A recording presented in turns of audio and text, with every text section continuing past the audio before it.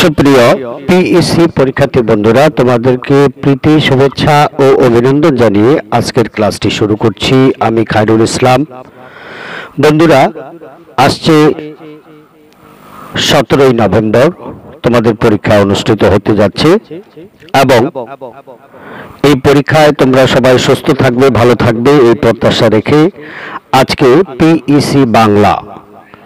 এই বিষয়টির bulletin suggestions দেওয়ার উদ্দেশ্যে আমি উপস্থিত হয়েছি। তো বন্ধুরা পিএসসি পরীক্ষার বাংলা বিষয়টিতে একশত নম্বরের জন্য তোমাদের যে মান বন্টনটি রয়েছে, আমি একশত নম্বরের মান বন্টনটি প্রথমেই তোমাদের জন্য আপলোড করব। পরবর্তীতে পিএসসি বাংলা খান মেথড চূড়ান্ত প্রস্তুতি এই নামক বইটি থেকে আমি চোদ্দটি আইটেমের জন্য পর্যায়ক্রমে তোমাদের জন্য পরীক্ষা চলাকালীন সময়ে বা পরীক্ষার পূর্বেই আপলোড করব। এছাড়া যারা দু হাজার বিশ সালে পিইসি এক্সাম অথবা প্রাথমিক সমাপনী পরীক্ষায় অংশগ্রহণ করবে, বন্ধুরা, তোমাদের জন্য আমার এই আজকের লেকচারটি কাজে আসবে। বন্ধুরা, তোমাদের পরীক্ষার খাতায় চোদ্দটি প্রশ্নের উত্তর দিতে হবে এবং সময় থাকবে দুই ঘণ্টা তিরিশ মিনিট। এক নং প্রশ্নটি থাকবে, নিচের শব্দগুলোর অর্থ লেখো। সাতটি শব্দার্থ দেওয়া থাকবে, এর পাঁচটি উত্তর দিতে হবে। পাঁচ নম্বর, দুই নং প্রশ্ন প্রশ্নের উত্তর লিখন। তিনটি প্রশ্নের উত্তর দিতে হবে বন্ধুরা। দুই যোগ চার যোগ চার, মোট দশ নম্বর। তিন নং প্রশ্নটি, শূন্য স্থান পূরণ করো, পাঁচটি। পাঁচটিরই উত্তর দিতে হবে নম্বর পাঁচ। চার নং প্রশ্নটি, প্রশ্নের উত্তর লিখন।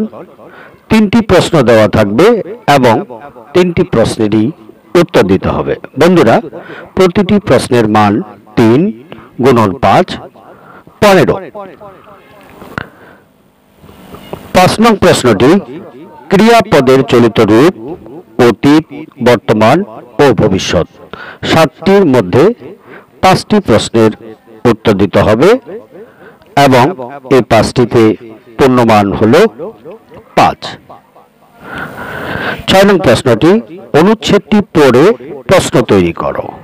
ইংরেজি বিষয়ে নয় নং প্রশ্নে যে অংশটি ছিল ডাব্লিউ এইচ কোয়েশ্চেন দিয়ে প্রশ্ন তৈরি করা, ঠিক বাংলায় একইভাবে তোমাদের কে, কাকে, কখন, কোথায়, কেন, কীভাবে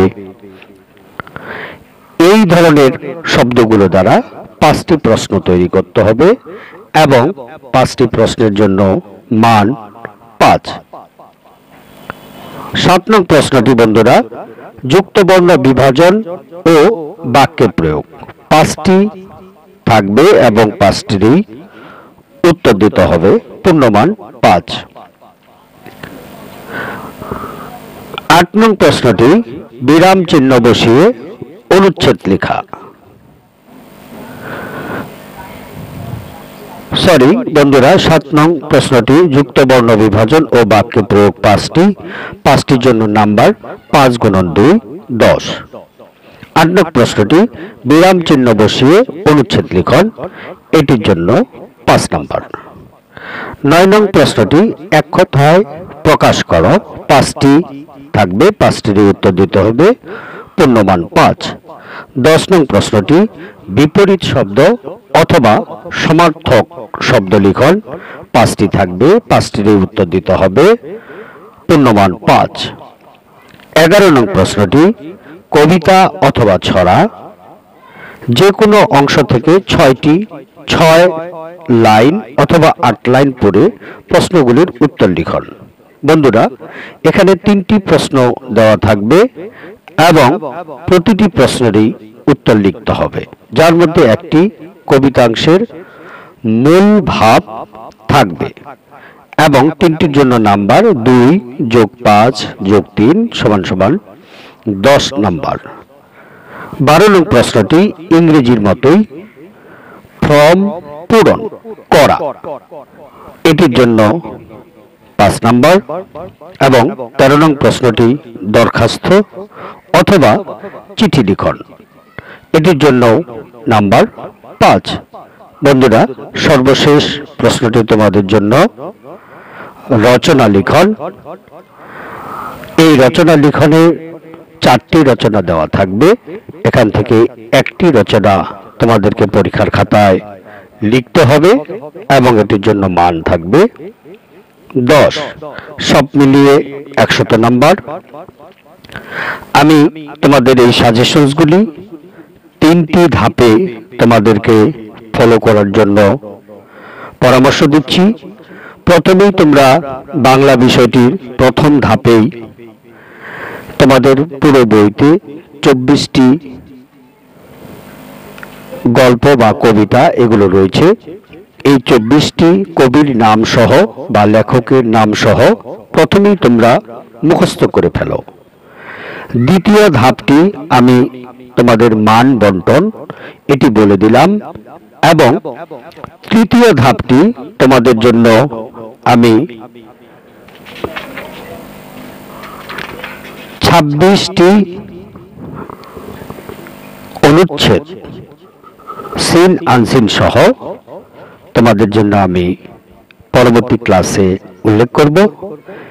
ইনশাল্লাহ এই ছাব্বিশটি যদি তোমরা ফলো করো, এগুলো থেকেই কমন পাবে।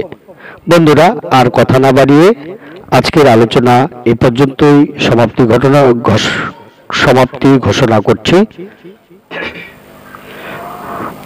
আশা করি আজকের ক্লাসটি তোমাদের অনেক উপকারে আসবে। এবং যদি মনে করো যে এই ক্লাসগুলো তোমাদের উপকারে আসবে তাহলে তোমরা ইউটিউবে আমার যে শিক্ষামূলক চ্যানেলটি এই চ্যানেলটিতে তোমরা আমাকে লগ ইন করতে পারো। বাংলায় যেভাবে আপনার সন্তানকে পড়াবেন ফেসবুকে একই অ্যাড্রেসে আপনারা আমাকে লগ ইন করতে পারেন বা বন্ধুরা তোমরা করতে পারো। এছাড়া ইউটিউবে, ইংরেজিতে তোমরা আমাকে সার্চ করতে পারো। আমার ইউটিউব চ্যানেল দুইটি, Khan method live video lecture, L I V E live video lecture এবং খান মেথড ভিডিও লেকচার। ধন্যবাদ। আসসালামু আলাইকুম ওয়া রাহমাতুল্লাহি ওয়া বারাকাতুহু।